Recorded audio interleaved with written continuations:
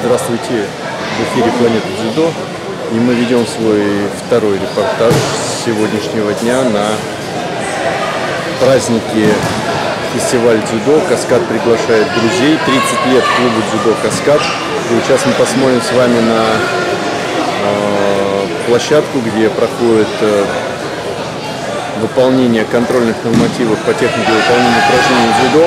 И давайте мы посмотрим, здесь и дети, и взрослые. Посмотрим, как это проходит, э, какие упражнения выполняются и как это все выглядит.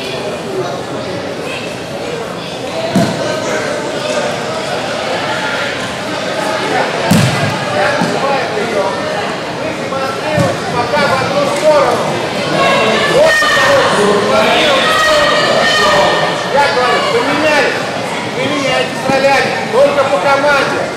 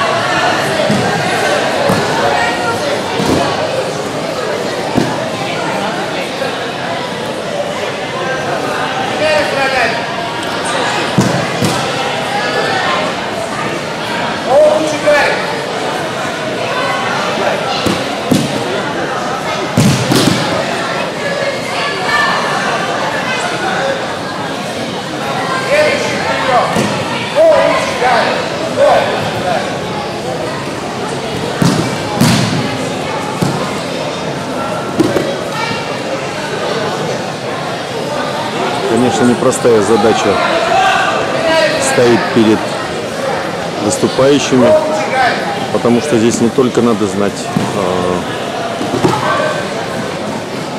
правильность выполнения упражнения, но также и э, знать э, японскую терминологию каждого упражнения, что усложняет весь процесс, потому что ребята очень юные и это дает двойную нагрузку.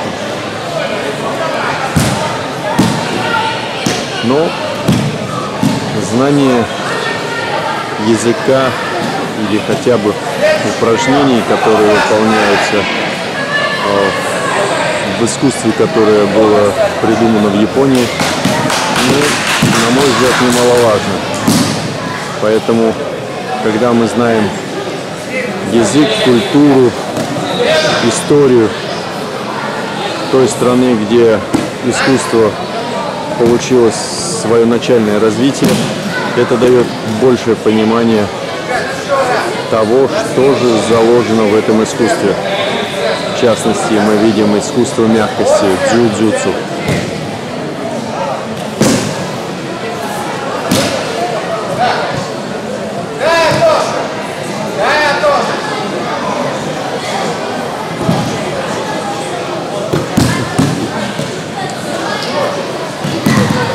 Сейчас на татами находятся ребята из клуба Кентаро,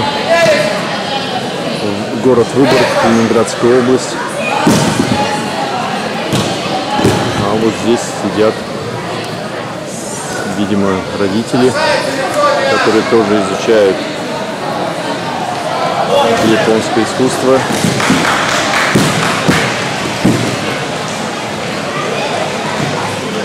Там вот сзади видны, позади выступающих видны другие клубы, которые готовятся к выступлению.